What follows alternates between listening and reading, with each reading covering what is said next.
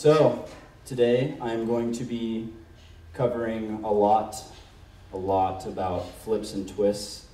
Um, but I want to make a disclaimer that this is not a tutorial on how to flip or twist. Um, this is a conceptual presentation for the development of your understanding regarding flips and twisting. Um, so no time during this presentation will I be giving a tutorial on any specific trick. I'm not going to teach you how to Webster, I'm not going to teach you how to B-twist.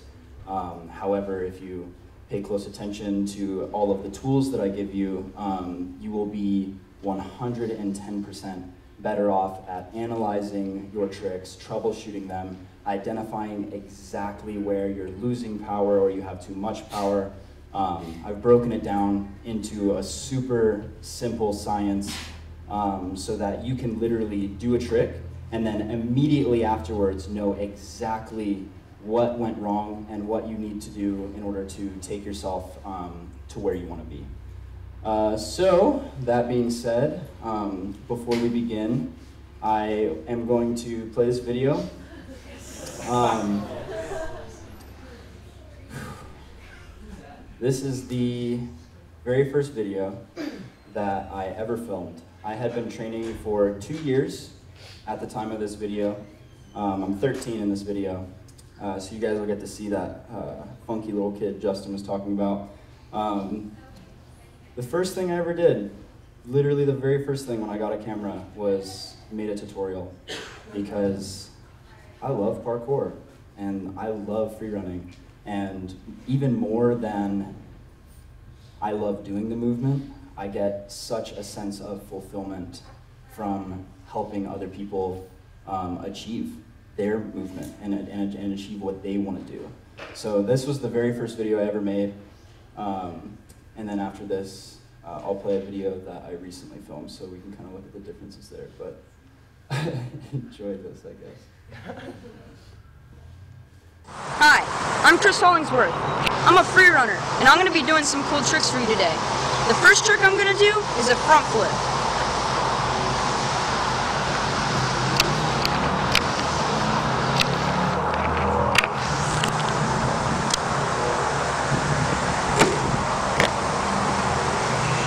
That was a front flip. I recommend trying it on the ground first or going to a place like Art Sports or Aerials to get a good hold on it.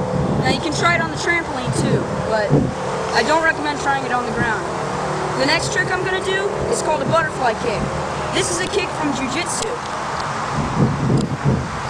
You're going to put your left foot forward, and then you're going to dive down and kick up with both legs like this. You can do it with or without a takeoff. I'm going to be doing both. This is without a takeoff.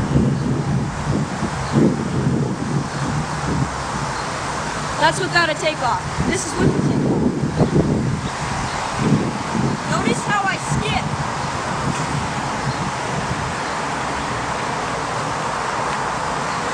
The next trick I'm going to be doing is a butterfly kick 360. This is similar to the butterfly kick, except it's in 360 format. 360 format. Yo, count, count the wind-ups, ready?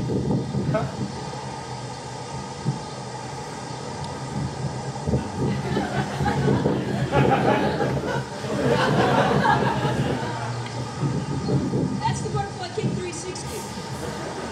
I'm going to be doing a few more front flips.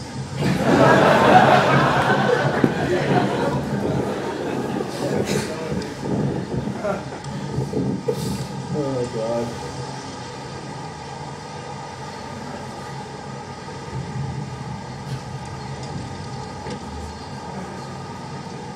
The next front flip that I'm going to be doing is going to have a roll incorporated in it.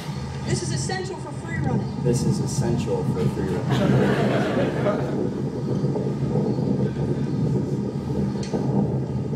Check out this roll tech.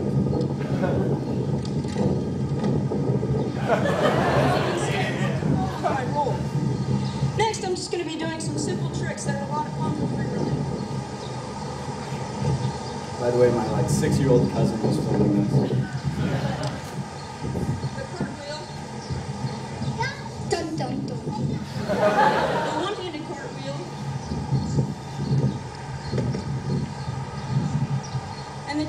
cartwheel, one-handed cartwheel combo.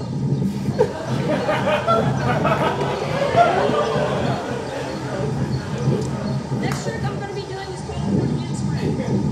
This is one of the easiest free running components. One of the Put your hands easiest. down in front of you. You flip over like that. Then you can do a cartwheel then a front handspring, makes it a little easier. Always have your legs forward. It's just like a handstand. Just lay on your feet. There you go. This has been Chris Hollingsworth with free running tips. Catch you later.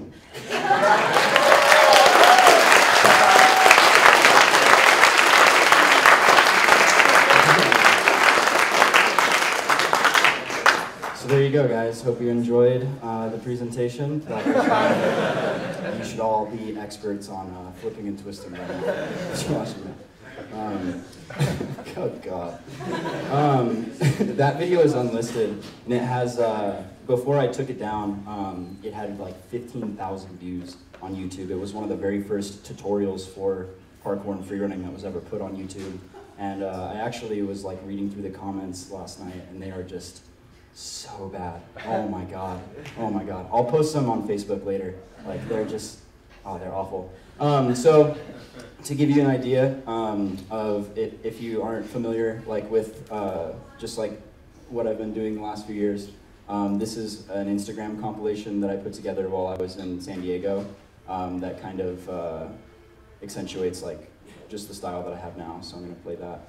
Um, and this is what 12 years of training has done.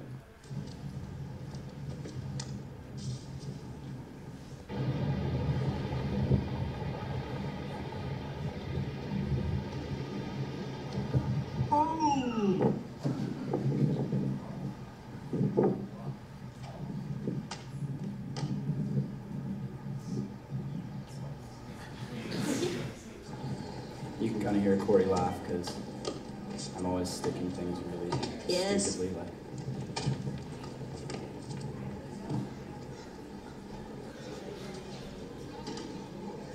Leapfrogs, those are really important. Essential Essential for free running.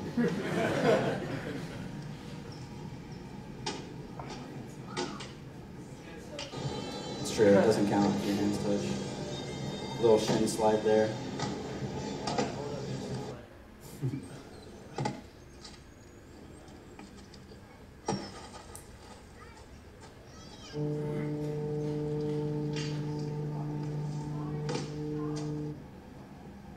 This footage is about um, a year to almost two years old as well. Freedom in Motion, shout out to Freedom in Motion. They're awesome. They're opening up a new location. If you guys ever get the chance to head on over there, they're pretty wonderful. Balboa Park, San Diego, awesome place as well. If you're ever in California, I recommend checking that out. It's my hype train.